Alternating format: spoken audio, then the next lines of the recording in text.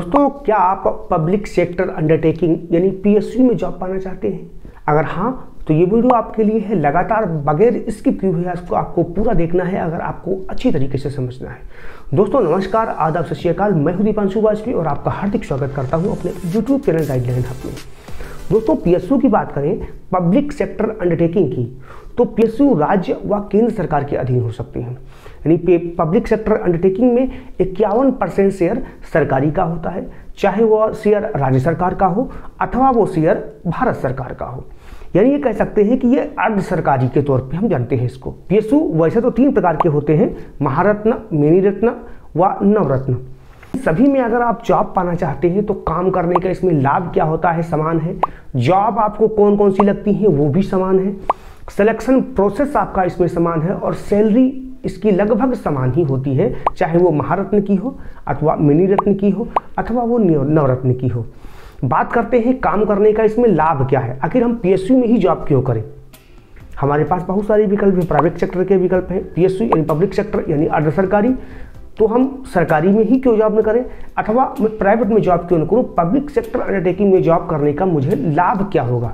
Public sector में आप अगर जॉब करते हैं तो सरकारी, जिस प्रकार आप सरकारी क्षेत्र में जॉब करते हैं, चाहे वो रेलवे की हो, अथवा आयोडनेस फैक्ट्री की हो, अथवा आपका किसी भी प्रकार का जो government pure government government organisation होता है उसमें जॉब करने का जो फ़ायदा होता है, वही फ़ायदा आपको पीएसयू यानी पब्लिक सेक्टर अंडरटेकिंग में जॉब करने का फ़ायदा होता है। इसमें आपकी जॉब की श्योरिटी रहती है। कार्य का जो प्रकार होता है, वो भी सीमित होता है। कार्य भी आपका पब्लिक सेक्टर सरकारी जैसा होता है और जॉब की सुरक्षा सरकारी जॉब जैसी रहती है। आप बात करते हैं, इनमें जॉब कौन कौन सी निकलती है? वैसे तो इनमें बहुत सारी जॉब निकलती है, लेकिन जो मुख्यतः होती है, वो दो प्रकार की ही जॉब निकलती है टेक्निकल और नॉन टेक्निकल टेक्निकल वो लोग फॉर्म डालते हैं, जो लोग टेक्निकल से बीटेक किए होते हैं मैकेनिकल से इलेक्ट्रॉन इलेक्ट्रॉनिक्स से इलेक्ट्रिकल से बीटेक अथवा डिप्लोमा अथवा आईटीआई कंप्लीट किए होते हैं। अथवा आईटीआई पे मैं इसलिए ज़ोर दे रहा हूँ कि हमारे ज़्यादातर व्यूअर ऐसे हैं जो आईटीआई कर रहे हैं। तो मैं उन लोगों को जानकारी देना चाहता हूँ कि अगर आप पी यानी पब्लिक सेक्टर अंडरटेकिंग में जॉब करना चाहते हैं तो आईटीआई करने के बाद में आप आराम से जॉब पा सकते हैं। चाहे वो सेल हो, भेल हो, गेल हो ओएनजीसी हो, या फिर ऑर्गेनाइज फैक्ट्री की जो सात शाखाएँ बनाई गई हैं, जो पब्लिक सेक्टर के अंतर्गत आती हैं, उनमें हो, जैसे कि ए डब्ल्यू आई एल हो एम आई एल हो एवीएनएल हो, आदि आदि जो कि बनाई गई हैं, उनमें भी जॉब करने का जॉब पाने का क्राइटेरिया समान ही है और जॉब समान ही है। और आईटीआई की बात करें तो ओपन कंपटीशन एग्ज़ाम होता है।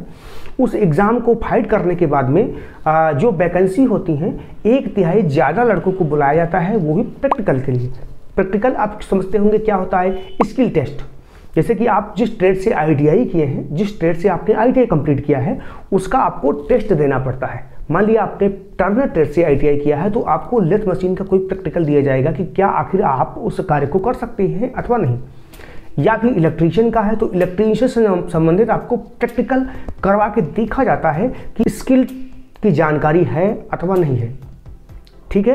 तो उस स्किल टेस्ट को पास करने के बाद में आपका सिलेक्शन हो जाता है और उसमें जो फॉर्मेलिटी होती है, जैसे कि मेडिकल हो गया वेरिफिकेशन हो गया, इन सभी फॉर्मेलिटी को पूरा करने के बाद आप आराम से जॉब पा सकते हैं। सैलरी की बात करें तो आईटीआई करने के बाद अगर आप पीएसयू सेक्टर में जाएँगे तो लगभग तीस हज़ार से पैंतीस हज़ार से आपकी स्टार्टिंग हो सकती है। ये मान सकते हैं कि सरकारी क्षेत्र से ज़्यादा आपकी सैलरी इसमें मिलती है। तो ये पब्लिक सेक्टर अंडरटेकिंग खास करके उन बेरोजगारों के लिए बहुत ही अच्छा सुनहरा अवसर होता है, जो लोग बेरोजगार हैं। तो कैसा लगा वीडियो? अगर आपको किसी प्रकार की जानकारी चाहिए, अगर आपको ये लग रहा है कि कोई जानकारी या कोई टॉपिक हमसे छूट गया है तो आप कमेंट के माध्यम से हम तक ज़रूर पहुंचाइएगा। मैं पूरी कोशिश करूँगा कि उसका गहनता से अध्ययन किया जाए और कमेंट के माध्यम से ही उसका जवाब दिया जाए। कैसी लगी जानकारी? आप हम तक ज़रूर पहुंचाइएगा। अगर हमने, आपने हमारा चैनल सब्सक्राइब नहीं किया है तो प्लीज़ सब्सक्राइब कर लीजिएगा। मिलते